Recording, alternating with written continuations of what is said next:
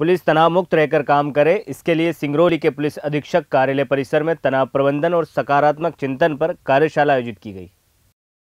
कार्यशाला में बताया गया कि योजनाबद्ध तरीके से काम करे तो तनाव से बचा जा सकता है। तनाव प्रबंधन कार्यशाला में बताया गया कि सभी के जीवन में समस्या हैं, लेकिन उनके साथ ही हमें कार्य करना पड़ता है। इसके लिए ज़रूरी है कि हम अपने आप में सुधार करते हुए आगे बढ़ें। अपने आप के लिए भी कम से कम एक घंटा दें और सकारात्मक चिंतन करें तो तनाव से मुक्त रह सकते हैं। सिंगरौली से इंडिया फ़र्स्ट न्यूज़ संवाददाता अयोध्या प्रसाद तिवारी की रिपोर्ट।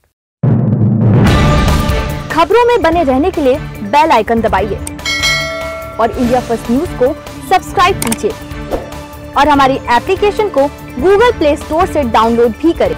अरे पचपन साल में तुम जो नहीं कर पाए, पहले उसका जवाब दो।